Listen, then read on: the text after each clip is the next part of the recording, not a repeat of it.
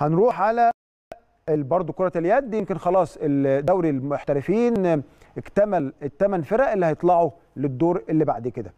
آه خليني أقول لكم إنه آه الأهلي الزمالك طلائع الجيش سبورتنج اليوبس الظهور الأولمبي الطيران خلاص المرحلة الثانية هم الثمان فرق دول.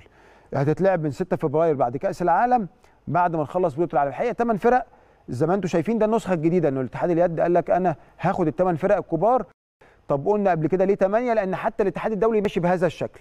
بياخد الثمانيه الكبار ده حتى في بطولة في كرة اليد اسمها الثمانيه العظماء.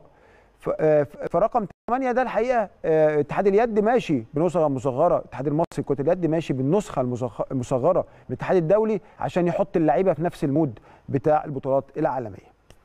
طيب الخبر اللي كنا قلناه من فترة عن اتحاد كرة اليد إن البطولة أنا آسف اتحاد كرة الطائرة إن اتأجلت الانتخابات لأجل غير مسمى كابتن سامح حمدي ولجنته المؤقتة. وكابتن كابتن سامح كان ضيفنا من حوالي أسبوعين ثلاثة وكلمنا عن الانتخابات والاستعدادات.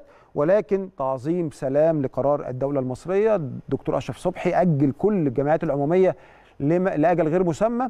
تعظيم سلام كابتن سامح حمدي فورا بدأ يعدل من قراراته دعا الفرق. يوم الأربعاء اللي جاي إن شاء الله هيكون فيه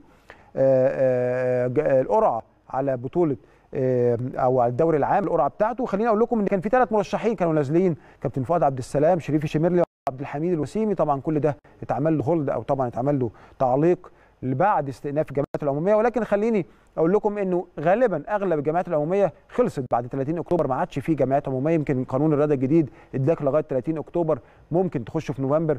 ولكن تقريبا كان الجامعات العمومية غالبها انتهت غالبيتها انتهت ولكن الدولة المصرية رأت ذلك وتعظيم سلام لقرارات الدولة المصرية.